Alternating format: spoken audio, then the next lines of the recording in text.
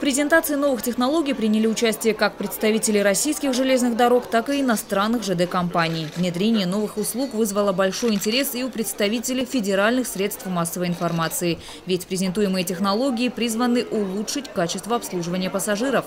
Любители приобретать билеты на поезд через терминалы отныне смогут расплачиваться не только банковскими картами, но и наличными. Осуществлять такую операцию можно будет через терминалы самообслуживания, оборудованные приставками для приема наличных наличных.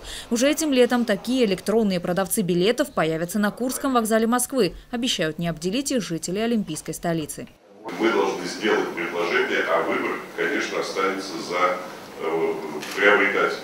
Но доля пассажиров, которые ограничивают приобретение проездных документов с использованием карт даже при наличии карт, она сегодня действительно существует. И возможность э, расширения форма оплаты, она чрезвычайно важна, и мы уверены, что мы найдем своего потребителя, предложив э, такую форму оплаты.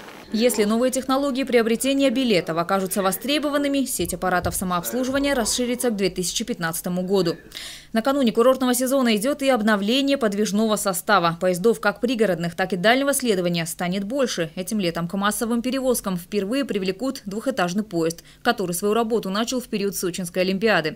Что же касается тарифов, то на определенные виды перевозок они остались на уровне прошлого года. Индексация, если и произошла, отмечают специалисты, то на самом низком уровне. Все, что касается Краснодарского края, то существенно будет изменено обслуживание, но оно надо отметить, что зависит и от позиции руководителей Краснодарского края. У нас там постоянно идет работа по подписанию договоров, и бюджет Краснодарского края регулирует количество поездов пригородного назначения. Поэтому мы смотрим э, в это лето с оптимизмом.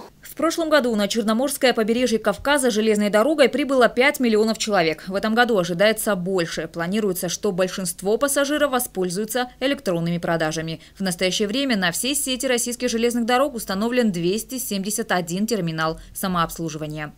Инга Габеша, Михаил Дубинин, телекомпания «ФКТ».